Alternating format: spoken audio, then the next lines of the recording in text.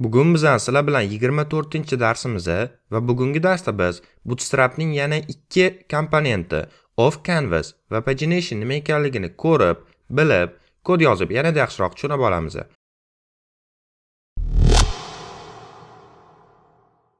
Dars rejasi keladigan bo'lsak, u ikki qismdan tashkil topgan bo'ladi. Birinchi bo'lib, off canvas nima ekanligini bilib oladigan bo'lsak, darsimizning ikkinchi qismi pagination komponenti haqida boradi. Unda kelinglar birinchi bo'lib off canvas nima ekanligini bilib olamiz. Off canvas bu veb sahifaga yashirin yon panel qo'shish uchun mo'ljallangan maxsus komponent hisoblanar ekan. Odatda navigatsiya, xarid savatchasi va shunga o'xshash holatlarda ishlatilish uchun mo'ljallangan komponent hisoblanadi. Quyidagi rasmda off canvasni ko'rishinglar mumkin. Demak, bu bizni veb sahifani asosiy qismini berkitib va odatda chap tomon yoki o'ng tomondan chiqadigan yon panel hisoblanar ekan. Endi kelinglar buni kod yozib, yanada yaxshiroq tushunib olamiz. Undan oldin bizani qiladigan bir ishimiz bor.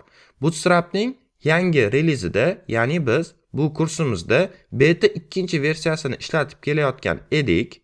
Mana pastroqda ko'rishimiz mumkin, lekin yaqinda to'g'riroq 23-martda Bootstrap o'zining 3-beta versiyasini chiqardi va bu versiyada endi off canvas komponenti qo'shilganini ko'rishimiz mumkin. Demak, biz Bootstrapni yangi versiyasini veb sahifamizga qo'shib olishimiz kerak ekan. Bu qanday amalga oshiriladi? Har doimgidek Bootstrapning asosiy veb sahifasiga o'tamiz. Bu qismda docs va ko'rishinglar mumkin pastroqda css kod bor. Buni ko'chirib olib, e'tibor beringlar, bu yerda bizda endi beta 3 matnni ko'rishimiz mumkin. Kodga o'tib, bu yerda tepa qismida mana ko'rishinglar mumkin bizda bundan oldingisi beta 2 edi. Uni o'rniga hozir ko'chirib olgan kodni joylab endi esa albatta js qismini ham ko'chirib olamiz. E'tibor beringlar bu ham beta 3 eng pastki qismiga tushib mana ko'rishinglar mumkin beta 2 ni beta 3 ga almashtirib qo'yishimiz kerak ekan. E'tibor beringlar bu faqatgina off canvas komponentini ishlatish uchun amalga oshirildi. Chunki beta 3 da ya'ni bootstrapning yangi versiyasida bu komponent qo'shilgan ekan. Demak buni qo'shib oldik.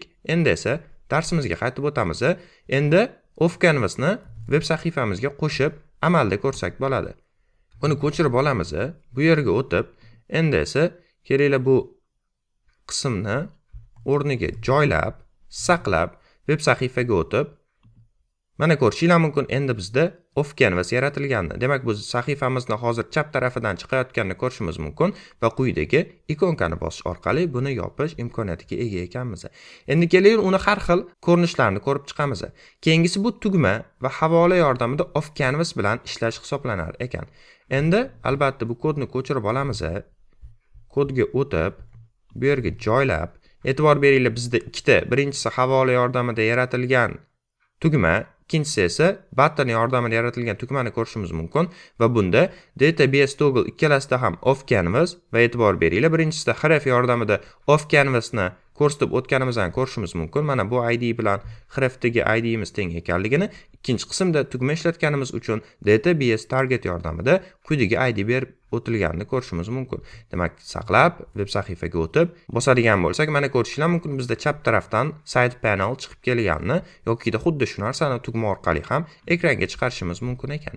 Demak off canvasni quyidagi holatini tushunib oldik. Keyingisi esa off canvasni joylashuvini o'zgartirish. Demak bizda asosan ikki klass bor ekan bu canvas end ya'ni sidebar o'ngdan sahifaga qo'shilishi uchun keyingisi esa canvas bottom sidebar pastdan sahifaga qo'shilishi uchun. Hozirgi holatda ko'rishinglar mumkin sidebarimiz chapdan qo'shilayotganini lekin biz quyidagi klasslarni off canvasni yoniga qo'shimcha ravishda qo'shib uni qayerdan qo'shilishini o'zgartirishimiz mumkin ekan. Kelinglar birinchi misolni ko'chirib olamiz. Bu yerga o'tib o'rniga joylab e'tibor beringlar bizda off canvas end ya'ni bu o'ng tomondan qo'shilishni ta'minlar ekan. Bossam mana ko'rishinglar mumkin o'ng tomondan qo'shilayotganini endi keyingisi esa pastdan qo'shilishi uchun misol hisoblanadi. Bu yerga o'tib joylab saqlab veb saytga o'tib ko'radigan bo'lsak mana endi bizani off canvasimizga pastdan qo'shilayotganini demak buni joylashuvini o'zgartirishni bilib oldik. Keyingisi esa backdrop. Backdrop nima ekanligini modal darsda ham bilib olgan edik. Bu demak veb sahifamizga modal ekranga chiqqanda orqa qismini qoraytirib qo'yadigan maxsus komponent hisoblanar edi. Endi esa biz xuddi shu narsani off canvasda ham ko'rishimiz mumkin ekan. Kodni ko'chirib olib bu yerga o'tib joylab saqlab mana ko'rishinglar mumkin. Birinchisi bosadigan bo'lsak bizda quyidagicha scroll bor ekan. Endi buni yopib ikkinchisini ko'radigan bo'lsak bizda scroll yo'q. Ya'ni hozir sichqoncha bilan pastga tepaga qilganda hech qanday scroll amalga oshmadi. Keyingisi esa bu yerda backdrop bor va scroll ham borligini ko'rishimiz mumkin. Demak uch xil ko'rinishini ko'rib o'tdik. Demak bu qanday amalga oshirilgan ekan?